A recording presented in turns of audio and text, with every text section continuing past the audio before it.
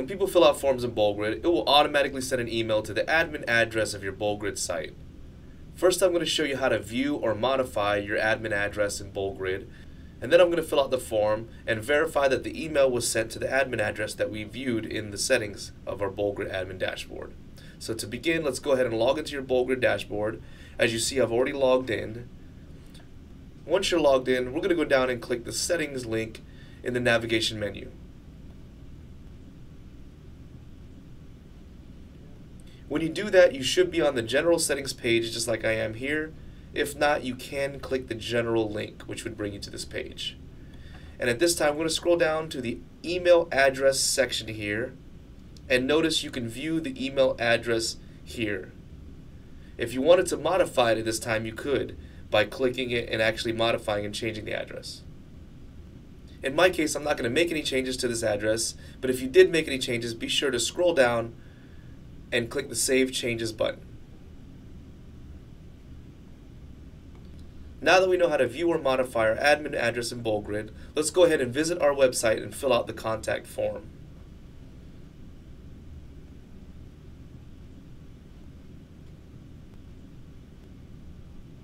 Keep in mind your website may differ or your contact form may be different from the one you see here. It's going to be different based on your exact setup and also the type of inspiration that you chose.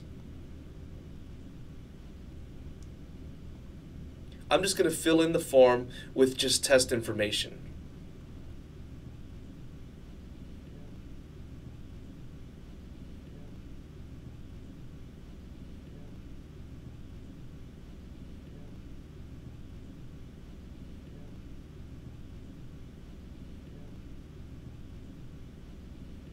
After filling out the form, I'm going to click the Submit button. You see I get this message saying thank you for getting in touch with us. Now I'm going to check my email to verify that I received the contact form submission. So in my case, I'm going to log into webmail and view that email. And keep in mind, the way that you check your email may differ based on your specific setup.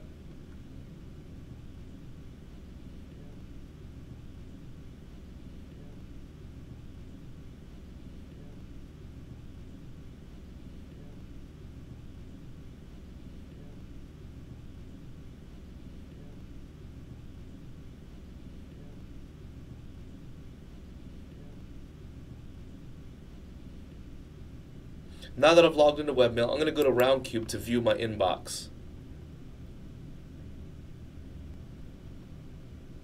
Now that I've logged in, notice that there's a form submission email here that I've received today. I'm going to open this email to verify it contains the information I submitted in the form. And you see it's the form submission information that I put in also notice that it went to the admin address that we viewed in the general settings of our BoldGrid dashboard.